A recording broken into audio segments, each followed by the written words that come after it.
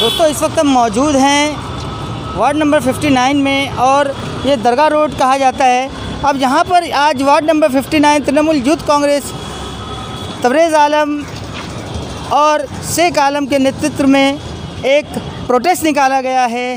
Petrol, diesel price hike को लेकर के। आइए, आपको ग्राउंड रिपोर्टिंग दिखाते हैं इस प्रोटेस्ट से।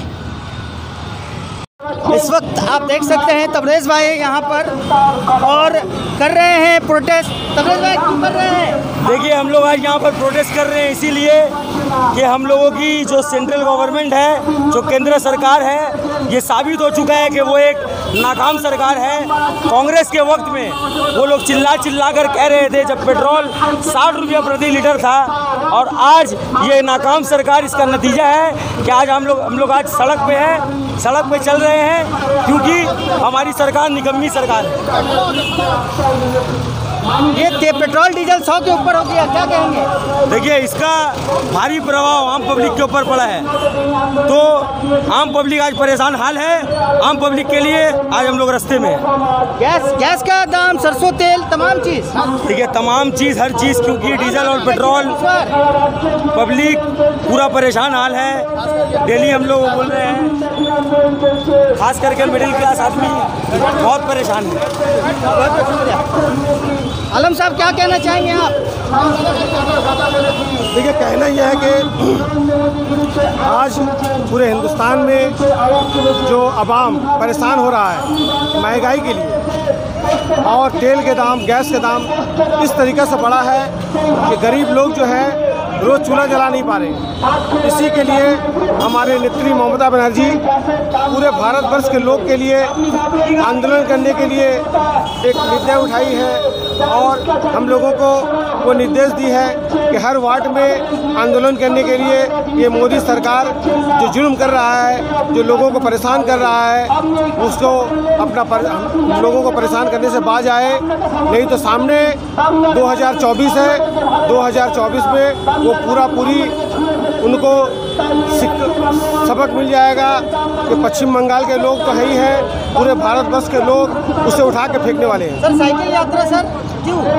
इतना ज़्यादा तेल का दाम बढ़ गया है कि बा मोहल्ला लोगों को साइकिल चलाने पड़ रहा है क्योंकि तेल का दाम सौ से भी ज़्यादा हो गया और ये मोदी सरकार इतना निकम्बा सरकार है इतना बेशरम लोग हैं कि ये लोगों का तरफ़ नहीं देख रहे हैं सिर्फ़ अपना राजनीति का रोटी सेक रहे हैं। और हर दिन तेल का दाम बढ़ाए जा रहे हैं। सर एलपीजी 900 सरसों तेल 200 के करीब। आम आदमी क्या भूखा रहे सर?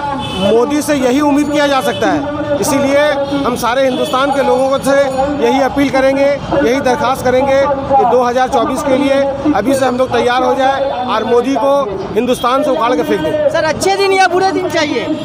हम लोगों को तो अच्छे दिन चाहिए मगर अभी का अच्छे दिन या पहले के बुरे दिन अच्छे थे? ने देखा जाए तो मोदी के मोदी के मुताबिक अभी जो मोदी कर रहा है उससे अच्छे पहले जो आगे आगे जो दिन था मोदी से आगे जो दिन था वो अच्छा दिन अच्छा दिन था।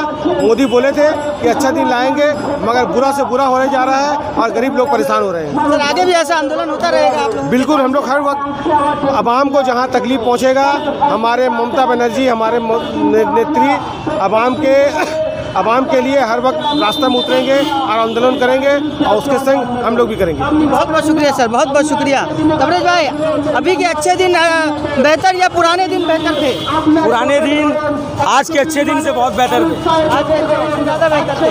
आगे भी आंदोलन चलेगा जैसे जैसे ममता बनर्जी का आदेश रहेगा अभिषेक बनर्जी जी का आदेश रहेगा वैसे वैसे हम लोग आंदोलन को चलाते रहेंगे।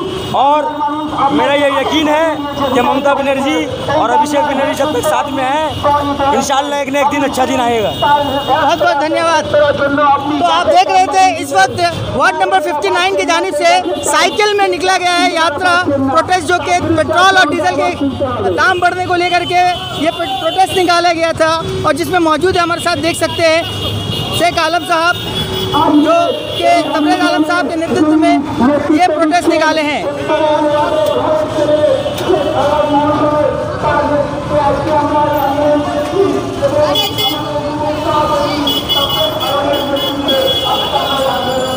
और जैसे कि आप देख सकते हैं,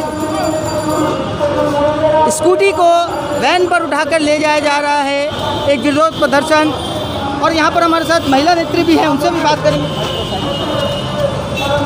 मैडम ये ये प्रोटेस्ट मैम आप लोग किस तरीके से कर रहे हैं? साइकिल रिक्शा पर? जी। साइकिल रिक्शा चल रहा है रिक्शा गाड़ी में चल के प्रोटेक्ट किया जा रहा है। जिस तरह का गैस का दाम पेट्रोल का दाम बढ़ रहा है इस तरह लॉकडाउन चल रहा है फिर ये कोरोना का ये चल रहा है इस मारामारी में भी ये गैस का दाम बढ़ रहा है। मैडम मैडम सरसों तेल का भी दाम ऊपर है मैम 200 के करीब आ गया। घर चलाने में कितना दुश्वारी हो रहा है? बहुत ज़्यादा खास करके तो औरत लोग को। मर्द तो कहीं से भी कमा के औरत का हाथ में दे रहा औरत को बहुत परेशानी हो रहा है हर चीज़ का। अब तेल छोड़ के पानी से खाना पकाने पड़ेगा। मैम अभी के अच्छे दिन बेहतर या पुराने दिन बेहतर थे?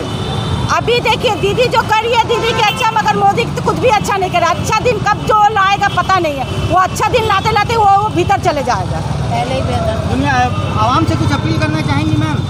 अवाम से यही अपील करेंगे कि दीदी को दिल्ली में पहुंचाना चाहिए ताकि एक अच्छा दिन ला सकेगी। मोदी कभी अच्छा दिन ला नहीं सकता है। इसलिए मोदी को हटाना ही बहुत बेहतर है। बहुत बहुत शुक्रिया। तो आप देख रहे थे क्षमा परवीन साहिबा थी हमारे साथ। और तमाम जो लोग हैं, तमाम वार्ड नंबर 59 के तमाम जो कर्मी हैं, लीडर्स हैं, तमाम लोग इस वक्त प्रोटेस्ट में निकले हुए हैं। तमाम लोग प्रोटेस्ट में निकले हुए हैं और एक तरह से साइकिल रिक्शा और साइकिल में बैठकर प्रोटेस्ट किया जा रहा है जहाँ पर आप देख सकते हैं कि स्कूटी स्कूटी को वैन पर रखकर प्रोटेस्ट किया जा रहा है দিদি পেট্রোল ডিজেলের দাম বাড়ছে কি বলবেন এই জন্যই আমরা মিছিল করে বেরিয়েছি যাতে গরিব মানুষরা খেতে পারে দাম একটু কমলে পরে আমাদের সুবিধা হয় आप क्या कहेंगे चच्ची? दाम डीजल पेट्रोल का सब बढ़ते जा रहा है। कम होना चाहिए। कम होना चाहिए। हाँ। गैस का दाम जैसे बढ़ रहा है घर पे असर पड़ रहा है खाना वगैरह हाँ पर? हाँ। गरीब आदमी कहाँ से पाएगा हज़ार रुपया देने? इसीलिए आप लोग प्रतिवाद कर रहे हैं। हाँ हाँ हाँ। हाँ। हाँ मोदी रहेगा देश का बर्बादी है। क्या कहेंगे चच्ची? अच्छे दिन आ गए। नहीं अच्छा दिन नहीं आया। एकदम खराब दिन आया। छोटा छोटा बच्चा घर का आदमी हर टाइम परेशान है। महँगाई से। इतना महँगाई है। डीजल का दाम बढ़ रहा है केरासिन तेल का दाम बढ़ कैसे करके जिएगा बोलिए आप। कोरोना से मरेगा या भुखमरी हाँ से भूखमरी से मरेगा कोरोना से नहीं मरेगा भूखमरी से मरेगा ज़्यादा तो आप बने रहे हमारे साथ फर्दर अपडेट्स के लिए देखते रहें द लोकल जर्नलिस्ट और हम आपको देते रहेंगे पल पल की अपडेट्स बोलना है कि महँगाई के खिलाफ में महँगाई बहुत बढ़ गया यहाँ पे आपका सब्ज़ी के भी दाम बढ़ गया तेल का भी दाम बढ़ गया। जो बाज़ार से एक सरसों तेल खरीदने जाते हैं तो वो अठारह रुपये हो गया। हाँ। और सब्ज़ी अभी पचास रुपये करके किलो हो गया साठ रुपये करके किलो हो गया। हर एक चीज़ का दाम बढ़ा हुआ है। हर एक चीज़ का महँगाई बढ़ गया है। अभी तो सरकार से क्या अपील करना चाहेंगे? सरकार से अपील करना चाहती है कि महँगाई कम करना चाहिए। और रोज़गार मिले युवाओं को। रोज़गार मिले? ठीक है। रोज़गार के लिए भी अभी तो रोज़गार आदमी का तो काम चल जा रहा है। अभी आदमी का काम चल जा रहा है। अभी आदमी का काम नहीं है तो खाएगा क्या गरीब आदमी, बोलिए। इतना महँगाई कर दिया जा रहा है तो गरीब आदमी क्या खाएगा पिएगा इसके लिए ममता बनर्जी का हम लोग साथ हैं इन चलिए बहुत बहुत धन्यवाद।